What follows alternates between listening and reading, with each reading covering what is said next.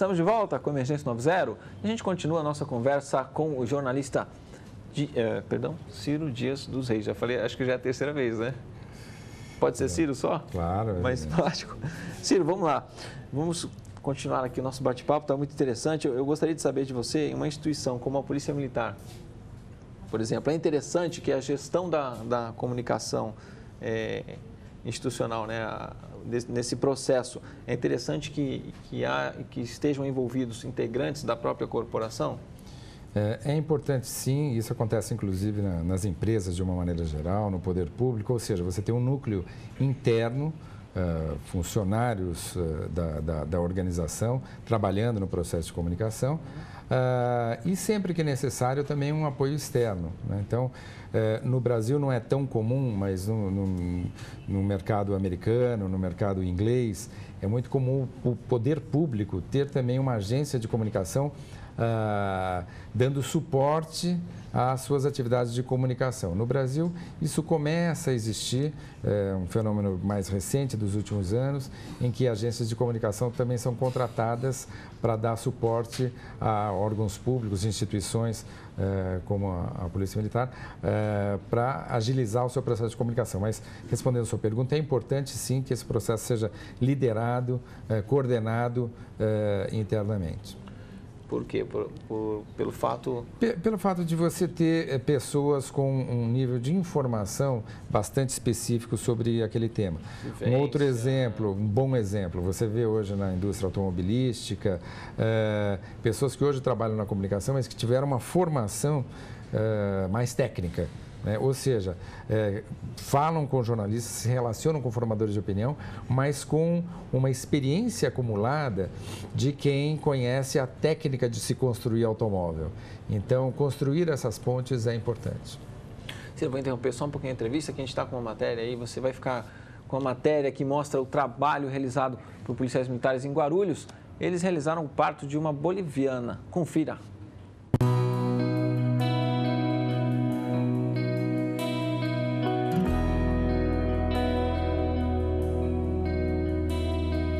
Foi solicitado via Copom para atender a ocorrência de parturiente, né? Nós chegamos no local, o parto já tinha iniciado, já estava, a criança já estava a metade já para fora. E nós não tínhamos meio e não havia possibilidade de socorro. Então, havíamos luvas na, na viatura, nós prosseguimos com o parto, é, é, tiramos a, a, criança, né, cortamos o, o cordão, levamos a criança para a viatura, só que logo em seguida chegou o SAMU, né? Então socorremos a criança até o SAMU e o SAMU prosseguiu com a mãe, retirou a placenta, socorreu a mãe e a criança para a maternidade. A ocorrência de parto em si foi a primeira vez que, a gente, que eu me deparei, mas na, na situação lá a gente tem que pensar na preservação da vida, né? Em primeiro lugar, como não tinha meios aí para socorrer, foi feito com o que a gente tinha no local. Uma sensação maravilhosa, né, de poder é, mostrar para as pessoas, né, para a população que a, a polícia não faz só o trabalho com a criminalidade, e sim também faz o trabalho social.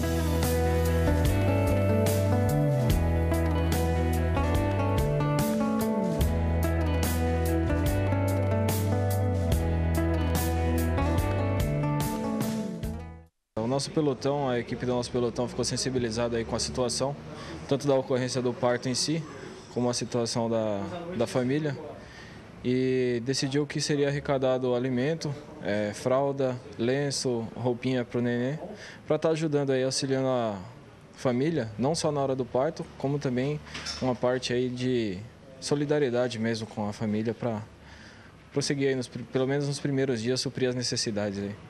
Acho que acho que eles tra trabalharam muito, né? É, ajudaram muito em minha pessoa, mas em minha família, né? Então, é, só tenho que agradecer eles, mas a equipe, toda a equipe deles. Então, estou muito agradecido eu por eles também. Parabéns por ajudar minha família. Então, acho que é um trabalho muito bonito para eles, né? Então, para um trabalho maravilhoso para eles. Então acho que eu estou muito agradecido para eles.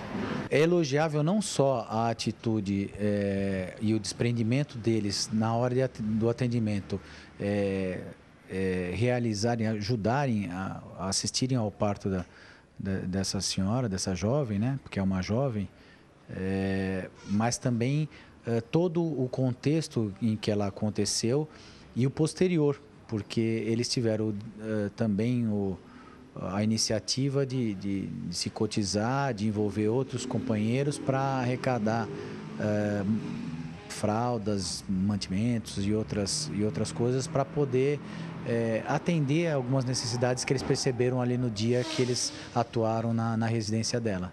Olha, eu vou falar uma coisa, para um comandante ter policiais é, do, do, gabarito desse, desses, desses companheiros aí é um motivo de muito orgulho. Acho que todo comandante é, se sentiria orgulhoso de estar no meu lugar.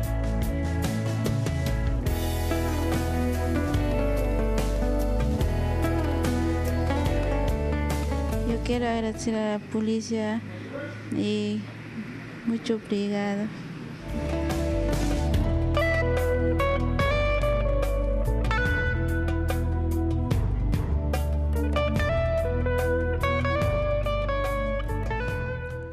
Bacana, né? Você recentemente acompanhou uh, uma ocorrência em que houve um desfecho muito trágico. O sequestrador atirou e acabou é, tirando a vida de uma criança que é a filha de uma boliviana, né? E nós tivemos aí a, a prazer de atender uma, uma ocorrência de ajudar no, no parto de, de uma mulher e por acaso era uma boliviana, né? Eu gostaria até de ressaltar aqui que é, a Polícia Militar faz esse trabalho aproximadamente, é, realiza aproximadamente 80 partos por ano. Né? Então, é, são, é, mais, é, é mais um tipo eh, de ocorrência que não está ligado diretamente ao crime, né, vamos dizer assim, que a Polícia Militar atua. Né, em campanhas, enfim, trabalhos é, sociais, né? É, a, Polícia, tá, a, Polícia, Militar está assim, tudo que é, é, próximo do cidadão, que acontece na rua ali, que, que há a oportunidade da gente prestar um, um auxílio, um apoio, enfim, isso qualquer nada do que é humano, vamos dizer assim, sintetizar, nos é indiferente, né? Então, o policial militar ele está lá para isso, para prestar o apoio que for necessário é, não só para trabalhar aí na, na prevenção né, e no combate ao crime, que é a sua principal função. Mas, Ciro, a, a, a Polícia Militar, as polícias militares do Brasil, é, nesse contexto, a Polícia Militar do Estado de São Paulo, como ela está colocada é, na questão da comunicação? Ela vai bem, ela está ali no meio, tá, é um exemplo a ser seguido, vamos dizer assim, é a pioneira, ou, ou ela ainda precisa alcançar algumas outras que já estão mais avançadas, na sua visão, na visão de quem está assim fora? Uhum. Olha, eu acho que a Polícia Militar do Estado de São Paulo, ah, não apenas pelo, pela sua complexidade de atuação, pelo, pelo tamanho do seu efetivo, ela, ela, tem, ela é uma referência eh, no cenário brasileiro. Sim. E do ponto de vista de comunicação, o que a gente tem notado é que nos últimos anos uh, ela tem se preocupado em se expor mais, em interagir uh, com a sociedade, mostrar uh, facetas que nem sempre as pessoas conhecem e essa matéria que a gente viu é, é, é, uma prova disso, quer dizer, quantos partos que são feitos por, por oficiais, por soldados. Dentro da viatura. Exatamente. Então, são coisas que mostram uh, o, o, preparo né, da, da, dos, uh, dos, oficiais, dos soldados, Você da tropa. deixar consignado aqui que uh, em sua formação, né, como é um tipo de ocorrência comum, o soldado ele recebe as, as instruções eh, de como atuar num, num, caso desse, né, e outros e outros diversos. São instruções básicas que estão lá no currículo da, da formação né, na Escola Superior de Soldados. É, tá ok, muito interessante. O senhor tem uma experiência é, internacional, né? A, a, qual é a percepção do senhor a respeito da imagem da Polícia Militar do Estado de São Paulo no contexto Brasil e no contexto aí fora? O senhor já falou aqui, é, é uma instituição né, de tem quase 100 mil homens e mulheres, enfim, uh, tem uma estrutura, um efetivo muito grande. Então, só por isso já, já passa a ser muito notada, né?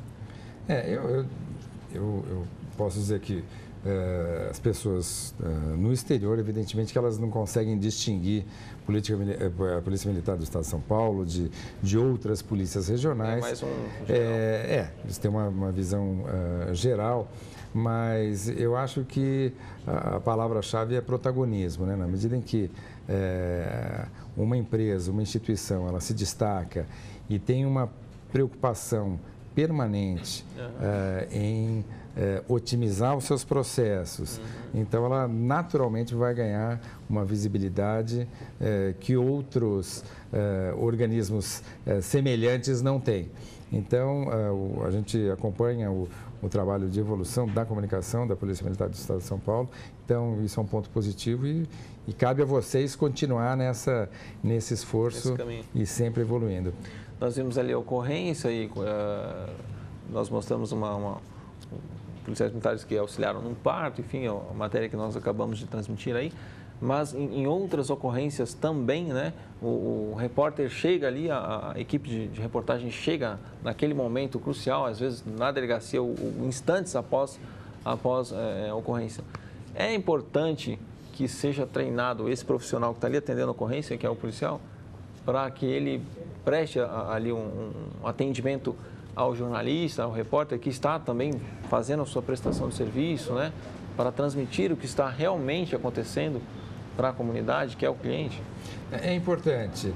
É, qualquer instituição, qualquer organização, ela deve ter seus porta-vozes treinados, porque afinal, numa situação uh, de interação, de socialização, de, de comunicação, essas pessoas são identificadas é, como a cara da instituição, a cara da organização. Então, se você tem um porta-voz é, bem preparado, evidentemente que você ganha pontos com isso, porque você consegue expressar os pontos de vista. Que é aquele momento ali, se passar, Exatamente. Já não é mais notícia, né? Já. Exatamente. E a gente vê isso a toda hora. Às vezes uma frase fora de lugar, é, uma irritação do porta-voz, ou é, um termo é, não elegante, como um momento pode colocar em risco a imagem de toda uma organização. Então, treinar os porta-vozes é fundamental. Ciro, nós estamos com o nosso tempo no limite, então eu gostaria de pedir as considerações finais e desde já nós agradecemos muito a presença, né, que desprendeu do seu tempo na, na agência, veio até aqui para atender a nossa solicitação. Muito obrigado mesmo, em nome do nosso comandante-geral, Coronel Benedito Roberto Meira. Nós agradecemos e pedimos as considerações finais do senhor aí, se quiser deixar algum recado, está perto. É. Agradeço primeiro pelo convite ah, e, e, dizer que é, é, muito interessante ver como a Polícia Militar do Estado de São Paulo ela, ela se preocupa cada vez mais em aprimorar a sua comunicação, a sua interação eh, em relação a, junto à sociedade, eh, porque é a melhor maneira de explicar o que vocês fazem de melhor e de criar uma empatia eh, cada vez maior com a população. Tá certo. Muito obrigado mais uma vez. E está na hora do break. No próximo bloco, nós vamos mostrar para você uma ótima opção de lazer para o período das férias escolares. O quadro Polícia Militar em Ação e as dicas de segurança. Não saia daí, a gente volta já já.